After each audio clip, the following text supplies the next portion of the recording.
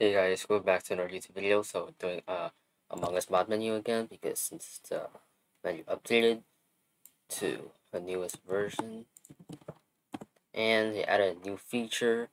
The new feature is the AUM chat. You can also chat with other people that are also using the mod menu. So there's two ways now because like the well, the injector way is not working. Some of you can't use this injector so there's another way you can use now that you can use to use the mod menu. So what you want to do is to go to my mega link and download the file and extract it to your desktop whatever you want or you can go to this second link over here which I already have it opened scroll down and release.zip and you'll start downloading it. After you finish downloading it and extract it to your desktop, you're gonna grab the uh, release.zip or AUM as the same files. So what you want to see? There's Among Us menu.dll and version.dll. What you want to do is to go to your Steam,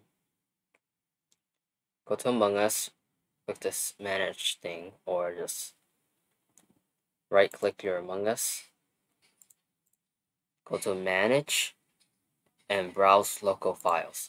That's where your Among Us mod menu files are. Now what you want to do is to copy version.dll, see that copy, select that, and go to copy down here, or just do control C, and now you paste it in here. paste it right there, or you can just do control V. Once you have that, close both of the folders and now launch your Among Us.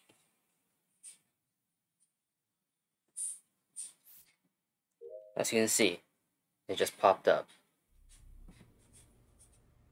And it works.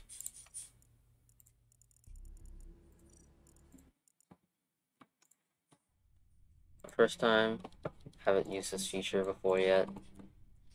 You'll be able to chat with other people that are using the menu as well.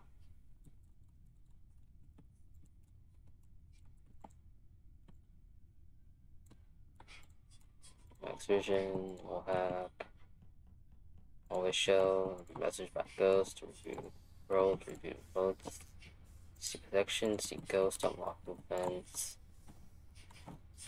abbreviation will not not show radar, it works, show dead body, click teleport, I reader during meeting lock positions, really play mod, ESP,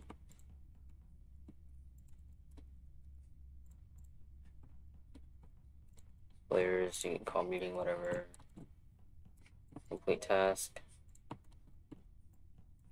shield, whatever animation, you already know what that does, sabotage, charge lights and lights should be off.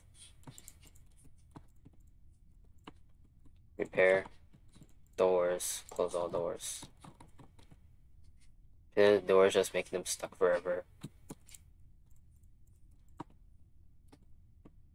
As one of the best menus there.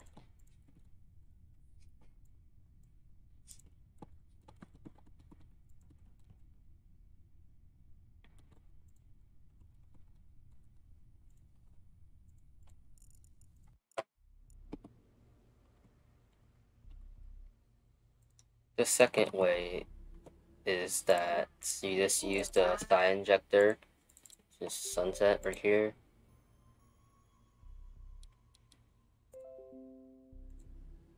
You just that you go to Among Us and then you select you go to your folder again and you select the Among Us DLL this time and not the version DLL.